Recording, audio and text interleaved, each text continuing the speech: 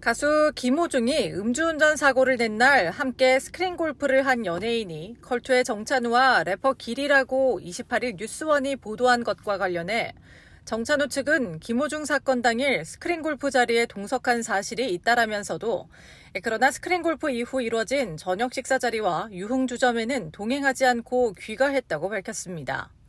래퍼 길 측은 이 만남에 대해 음악 의뢰를 받아 이날 김호중과 처음 만나게 됐다고 문화일보에 설명했는데요. 한편 정찬우는 김호중의 소속사 생각엔터테인먼트의 3대 주주이며 생각엔터테인먼트 지난해 감사 보고서에 따르면 정찬우는 이 회사의 지분 28.3%를 보유하고 있는 것으로 나타났습니다. 정찬우와 길 두 사람은 사고 직후 모두 참고인 조사를 받은 것으로 알려졌습니다.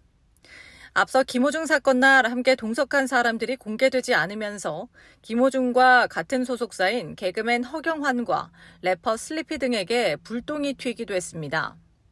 김호중은 사고 당일 스크린 골프장에서 술을 마셨고 이후 식당과 유흥주점에 갔다가 차를 몰고 나오면서 택시를 충돌하는 사고를 내 24일 구속됐습니다.